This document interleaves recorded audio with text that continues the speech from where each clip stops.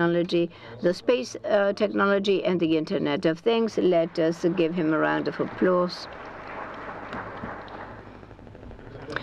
Thank you for the invitation and thank you for introducing me. I'm going to talk about the so called space IoT. This is a new tendency in uh, the space world uh, and in the hybrid uh, world that has developed in recent years.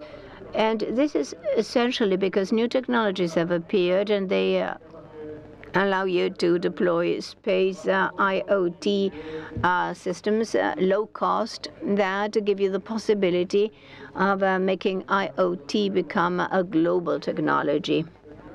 First of all, why space IoT? That would be the question.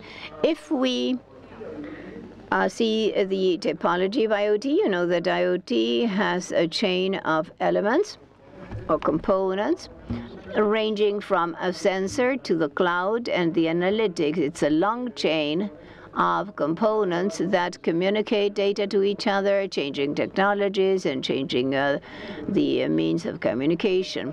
Now, in the lowest part of IoT, we have the sensor and an element uh, of data acquisition that is usually a sensor node or popularly it is known as mote, and that is a small device, op usually operating with batteries, and acquires the data of the sensor and then transforms that again from its uh, physical chemical component to a string of data that are transmitted in low power networks, usually wireless, to a node that is the coordinator. The coordinating node actually receives the data of the sensors and transforms them and uh, takes them to the internet world. And that is where IoT appears.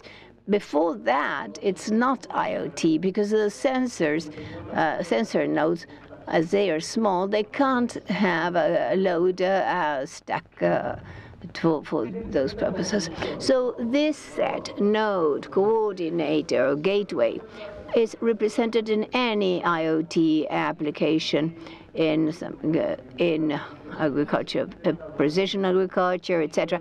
There's always a duality, and the coordinating uh, node is always close because the low power wireless connections are have a small range. Now, if I want to deploy an IoT network globally, I should have many coordinators going round and round around the world. Now, that is why we've seen uh, the appearance of space IoT, a network that could be global where the coordinator is no longer an element that is close to the node, but uh, an, in a satellite at an orbit that may be 600, 700,000 kilometers distance, and that uh, travels around the world as the LEO, uh, the, the low orbit uh, satellites. They uh, and they are uh, um, in space.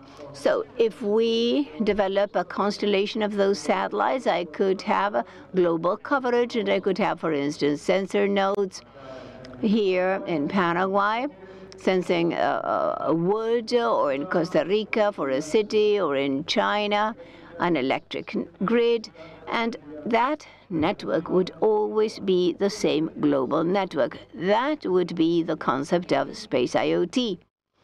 And what I'm going to try to explain somehow is what are the technologies, the protocols, especially highlighting the new technologies that make IoT profitable because launching a satellite to transmit just a little uh, data of a sensor may require 1,000, 2,000 uh, bytes per day. Well, that usually is not profitable in large satellites in very expensive satellites. So I'm going to mention a new technology of low-cost satellites that is what is enabling us to develop space IoT.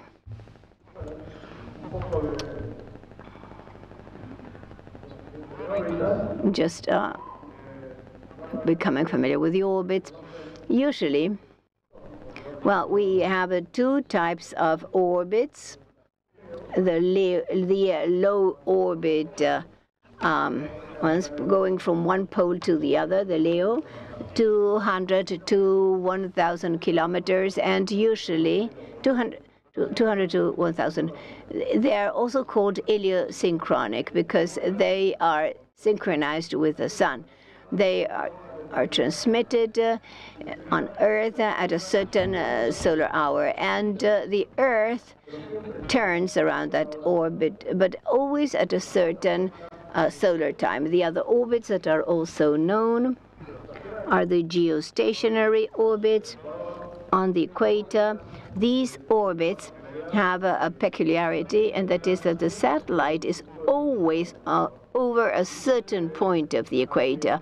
And that is due to the fact that the satellite also turns around the world, but the speed at which it turns is the same as the Earth's. So they're always on a point of the equator. These were the first orbits to be used in telecom and uh, they were used uh, for a long time in telecommunications. In recent times, they uh, are no longer so popular because the fiber optic uh, started to flood communi uh, terrestrial communications, and these orbits are not so uh, often used, but now they're being renovated. So what uh, orbit should we use in space IoT? This is uh, a table where comparing the LEO and the GEO orbits. Here there are some parameters that we should take into account at the time of choosing the right orbit for an app. In this case, it would be an IoT coordinator. First of all, the cost cost of a low satellite, low orbit satellite is cheaper than a high orbit uh, satellite. Even though, well, it may be high in LEO, but I'm going to show you that they're more inexpensive. The lifetime of uh, the LEO satellites is low, while GEO is high. They are designed and the geo satellites are are uh, planned to uh, last 15 years because they are expensive. So they need to last. This is an important thing latency.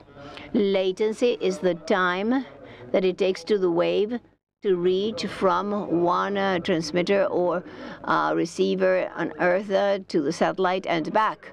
And in the case of Leo, it is uh, lower because it's closer. And uh, the real time, well, in geo it's higher. Now, is it possible to do uh, SIoT in real time? That would be the question. In the case of Leo, it is possible if you use constellations. You've seen the constellations that were shown by the speaker that uh, uh, of Huawei.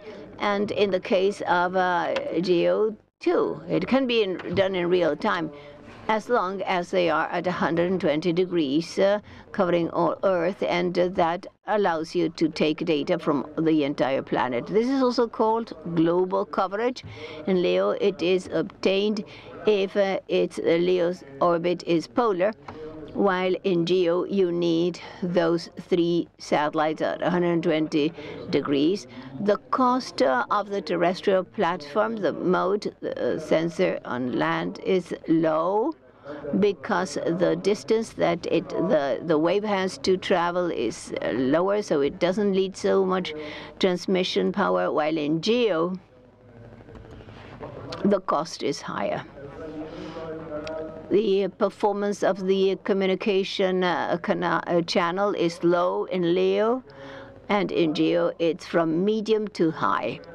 The satellite antenna in LEO is omnidirectional, both in the satellite and in the terrestrial node, while in the GEO they are directional and the plat, uh, antenna in the platform is omnidirectional, and here it is directional. The uh, link, uh, the mode, the procedure here, it uses Aloha and TDMA in geo. And examples, not new. These are rather old.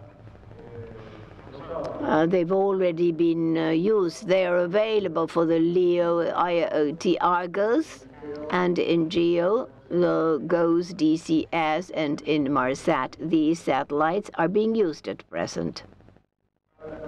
Now, the first applications, uh, a bit of a background, the history, what we can call the IoT, what we now call IoT. At the time, they were, it was not called IoT.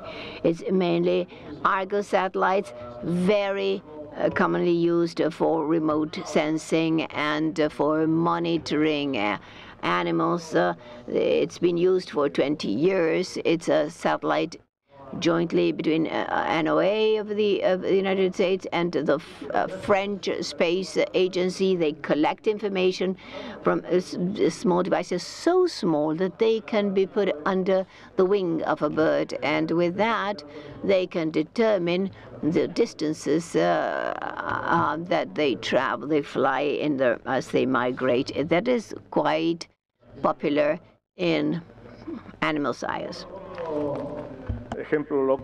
Another local example is SCD in Brazil. This is a satellite to collect data. This is a satellite. It was entirely developed and launched in Brazil. It is now in operation. And it has the same Argos protocol and carries out the same activities, but mostly over Brazilian territory.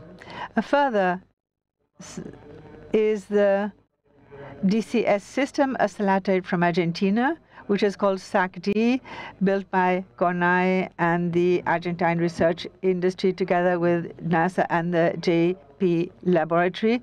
And it is similar to Argos with the same features. This satellite, this DCS system was used during the DCS life period from 2010 to 2015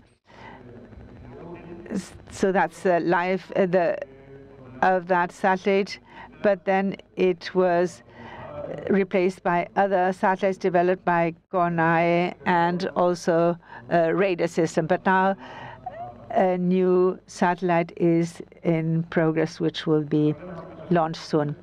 These are some of the commercial applications we have at present.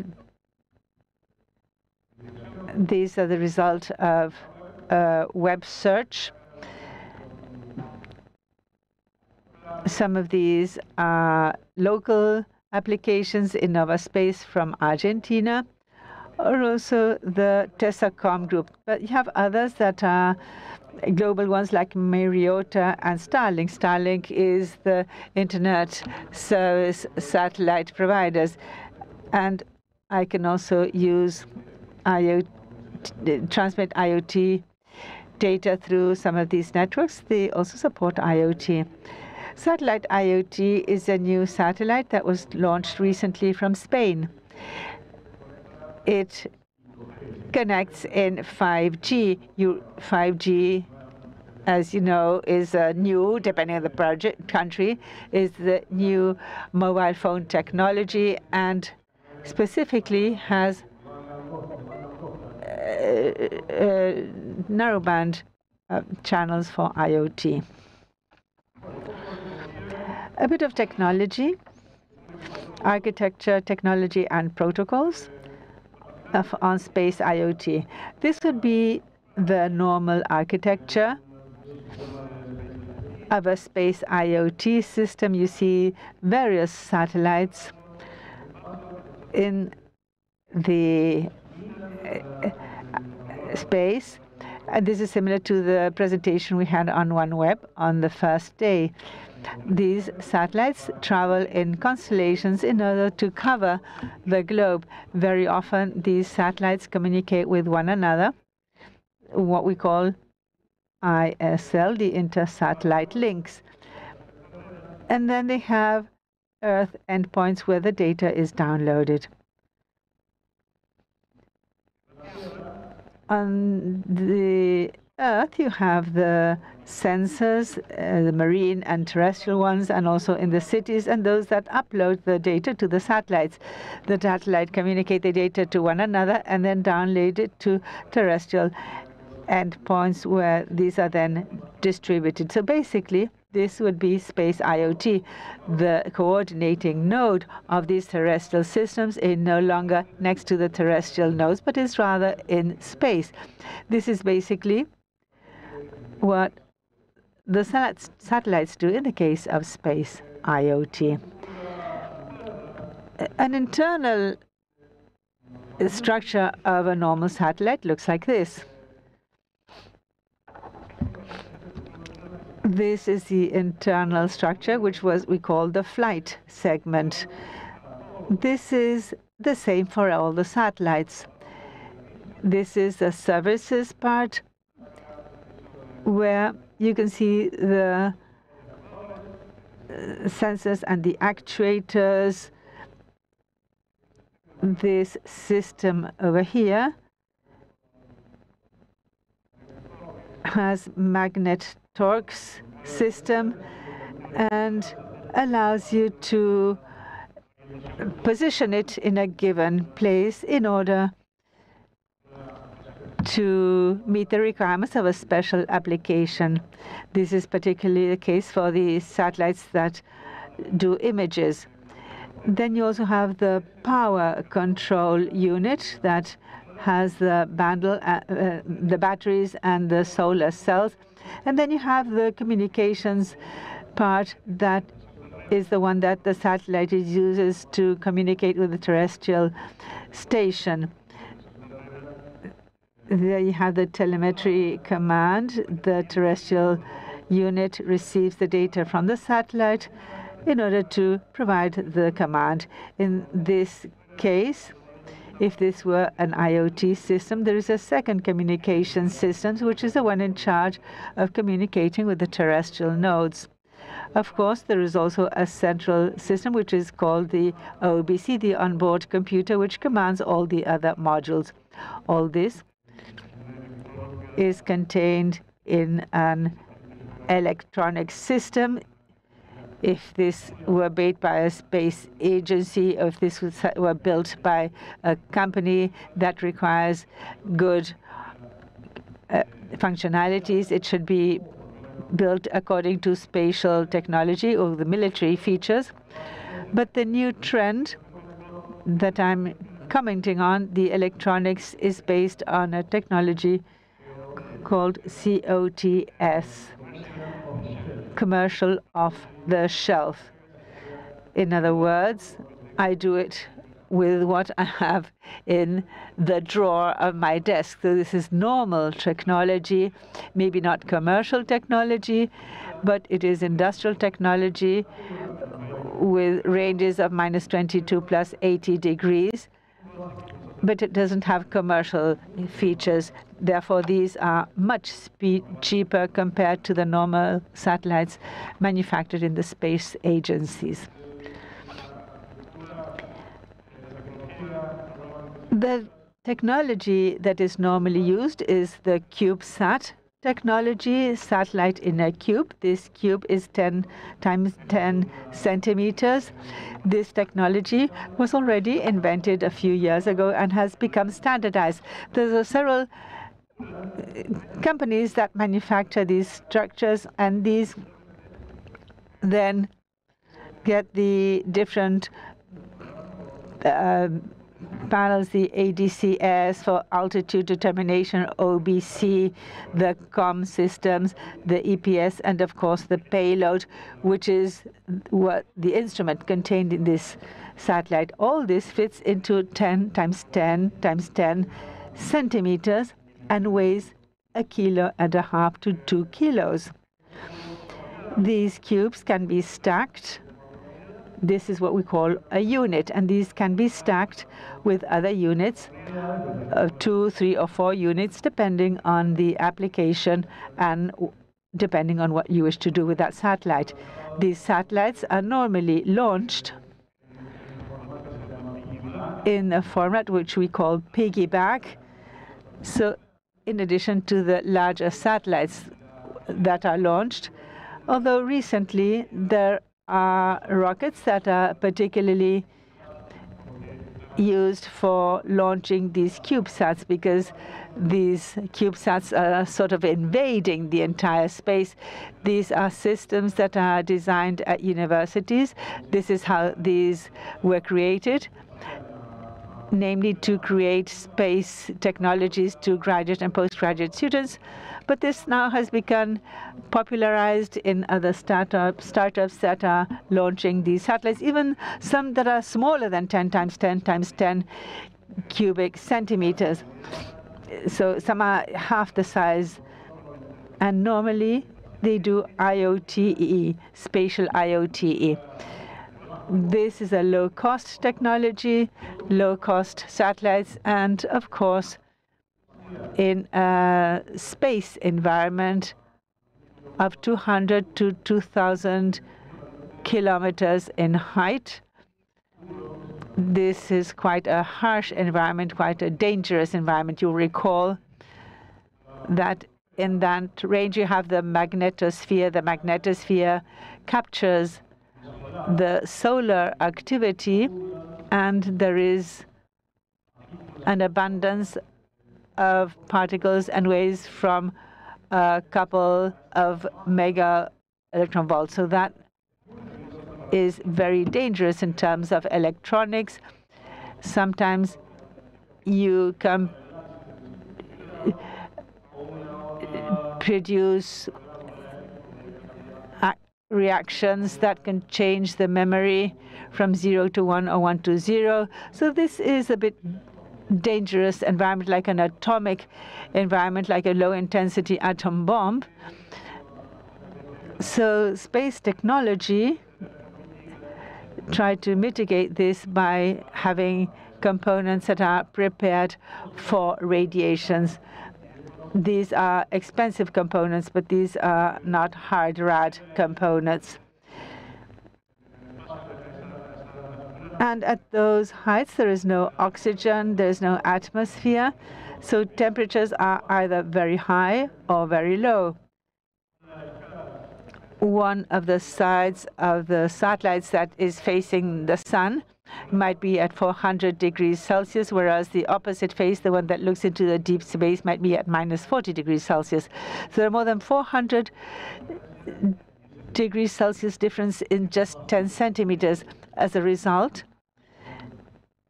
this leads to making insulation of utmost importance. These satellites, of course, are not protected against radiation and they don't have any redundancy. They're not protected against temperature. So the life cycle of these satellites is very low. I would say this is about six months to one year, whereas a satellite manufactured by a state agency for the same purposes might have a life cycle of five years. But of course, the costs are significantly lower. So some companies prefer to launch many of these low-cost satellites instead of building a high-cost satellite. So that would be the economic equation. This is a sensor node. The sensor node is the one that is on the Earth. This is a small node that is normally battery fed. Of course, it has uh, different acquisition and communications unit that conveys the forwards the information to the satellite. The features are that they are autonomous, they are cheap, they can be transportable, they are robust, and they're reliable too. And because they are cheap, they can be replicated as like specks of technology, motes, that can be distributed on the ground at a low cost.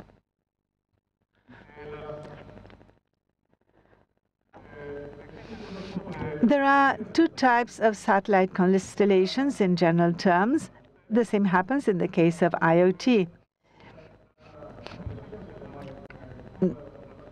This is a centralized type of satellite constellation. Here you have two satellites. There can be more satellites if you wish they receive information from the from the Earth, and these are then transmitted to the central station. Now, one of the features of this architecture, of this constellation, is that it cannot be in real time because these satellites are traveling in space and they might obtain information in a given point on the Earth that is not visible by the Earth station. This, therefore, has to store the information supplied by those places on the Earth. And then this is what we call the store and forward. And depending on the satellites that are orbiting the Earth and depending on the time from the moment uh, data is generated will then lead to this. But in fact, this is not real time. This system is used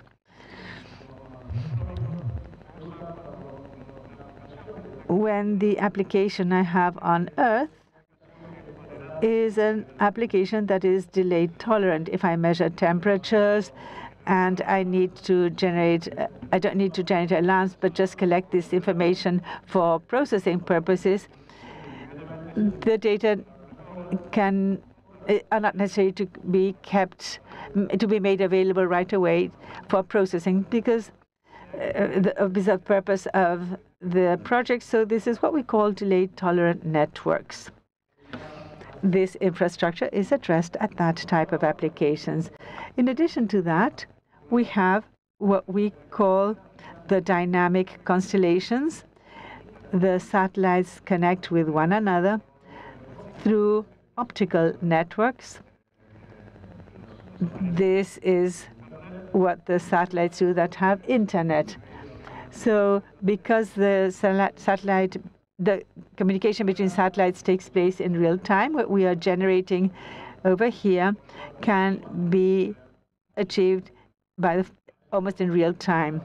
So these are applications that are necessary when we have delay-sensitive applications. So that is when we use these types of sat uh, constellations. These are the constellations that you saw in uh, for the, uh, um, it, it, does not tolerate uh, delays. So there are mapping and routing um, examples here. The, these are not the most usual in IoT, but uh, they can be seen. So finally, what is uh, the technology for uh, linking the sensor node and the satellite?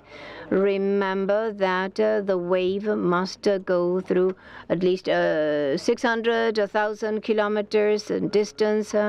so you, it needs to have enough sensitivity to reach uh, the satellite. So there are several technologies. One of them, quite well known, is the LoRa technology that belongs to a type of uh, communications that is called a low power wide area network. It's highly representative of that sort of technologies, but there are others too. LoRa has two aspects. One of them is LoRaWAN that covers the physical layer and the communications. And LoRaWAN is the layer, the MAC layer. Uh, and uh, here you have the modulation, the frequency bands, and how LoRaWAN works. How does it work? Well, it's actually that. It's a physical layer and uh, uh link layers that transmit uh, to a satellite that circulates over it. So this technology has been approved for those distances, and there are several satellites that are already working with a LoRaWAN, with a little uh, power in the antenna. This is uh, one of their ads. They, their publicity says that they can do the NTN low the low terrestrial networks. So they say that they are capable of doing it with LoRa. Another technology that's being used is the narrow one, uh, IoT. This is a technology that was added to the uh, cell phone uh, technologies to precisely to transmit IoT. That is low bandwidth uh, uh, signals with uh, little data. It's part uh, of uh, the 3GPP, and uh, it is. They also have concordance in 5 and 6G. So this is also being used in satellites for IoT. In this case, as the, we need uh, a licensed frequency. So this is being used by the companies that uh, uh, have a license, that is uh, the mobile phone companies. So that was a quick overview of space OIT, IoT. In, in the end, new, it's new technology with a risky technology uh, cut, but that can meet the needs of uh, the cost of uh, people because it's low cost. It's uh, an IoT satellite must necessarily be low cost if you want to meet the needs of low cost for the global clients. For instance, one of these companies, I won't mention the name, charges for each node $4 a year to transmit up to 1,000 bytes per day. Those costs, I think that they can only be attacked if you use these cheaper satellites. Being so cheap, they can uh, uh, you can flood uh, the space markets with these technologies. There are several technologies already. Another conclusion that you can draw is that there are not so many standard protocols. If I try to use uh, some of some of those companies that I mentioned initially, the companies uh, being used, probably if I have a sensor of another company, I won't be able to transmit with the satellites of this company, but so interoperability will be a problem in the future. This is a topic that needs to be discussed uh, if you want to develop the protocols necessary for standardization. Thank you.